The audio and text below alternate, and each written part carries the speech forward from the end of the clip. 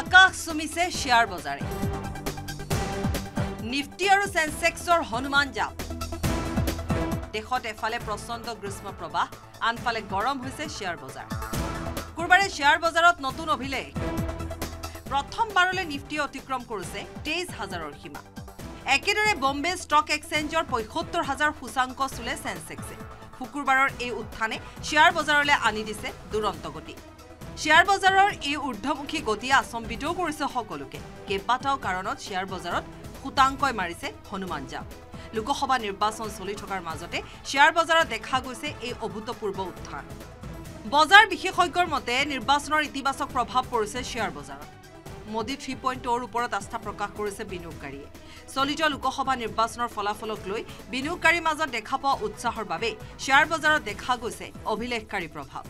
বজাৰত উঠা ঢৌ মতে প্ৰধানমন্ত্ৰী নৰেন্দ্ৰ মোদী তৃতীয়বাৰৰ বাবে দেশৰ প্ৰধানমন্ত্ৰী হ'ব। দুহেজাৰ ঊনৈছৰ তুলনাত অধিক আসন লাভ কৰি মোদীয়ে চৰকাৰ গঠন কৰিব। দেশত এখন শক্তিশালী আৰু সুস্থিৰ চৰকাৰ হ'ব বুলি এক ইতিবাচক ধাৰণাৰ সৃষ্টি হৈছে বিনিয়োগকাৰীৰ মাজত। নৰেন্দ্ৰ মোদীয়ে দুহেজাৰ সাতচল্লিছলৈ ভাৰতৰ বিকাশৰ বাবে ভিজন দেশ আৰু বিশ্ববাসীৰ সন্মুখত দাঙি ধৰিছে। সেই ভিজনে প্ৰভাৱিত কৰিছে বজাৰক। পাঁচটা পৰ্যায়ৰ ভোটগ্ৰহণৰ সমাপ্ত হোৱাৰ পিছত বিজেপিৰ চৰকাৰ নিশ্চিত হোৱাৰ পিছত বিনিয়োগকাৰীসকলে সুৰক্ষিত অনুভৱ কৰিছে আৰু বজাৰত ঢালিছে ধন। উল্লেখযোগ্য যে মোদীৰ কাৰ্যকালতে চেনচেক্স পঁচিছ হাজাৰৰ পৰা পঁয়সত্তৰ হাজাৰত উপনীত হোৱাটোৱে বিনিয়োগকাৰীসকলৰ বাবে হৈছে সকলোতকৈ ডাঙৰ বিশ্বাস।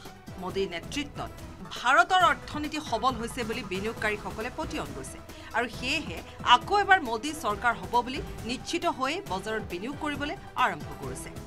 শ্বেয়াৰ বজাৰত এই উত্থানৰ আন এক কাৰণ হ'ল চৰকাৰক ৰিজাৰ্ভ বেংকৰ ডিভিডেণ্ড প্ৰদান। বুধবাৰে ৰিজাৰ্ভ বেংকে কেন্দ্ৰীয় চৰকাৰক দুই লাখ এঘাৰ হাজাৰ কোটি টকাৰ ডিভিডেণ্ড প্ৰদান অনুমোদন জনায়। এই বৃহৎ পৰিমাণৰ ধনৰাশি চৰকাৰে লাভ কৰাৰ লগে লগে নতুন চৰকাৰৰ বাবে ই হৈ পৰিছে আশীৰ্বাদ স্বৰূপ। ইয়াৰ ফলত ভাৰতৰ অৰ্থনীতিৰ ৰেটিং পইণ্টটো হ'ব শক্তিশালী। এই বিশাল ধনৰাশিয়ে দেশৰ বাজেটত বিত্তীয় ঘাটি কম কৰাটো সহায় কৰিব। এই বিশাল পৰিমাণৰ ধনৰাশি মোকলাই দিয়াটোৱে দেশৰ বিত্তীয় ব্যৱস্থা মজবুত হৈ আছে তাকে প্ৰমাণ কৰিছে। সেয়েহে দেশৰ অৰ্থনীতিত এই বিশাল পৰিমাণৰ ধনৰ আগমনে বিনিয়োগকাৰীসকলকো কৰিছে আশ্বস্ত। যাৰ বাবে শুকুৰবাৰে অভিলেখ সৃষ্টি কৰিলে শ্বেয়াৰ বজাৰৰ সূচাংকই।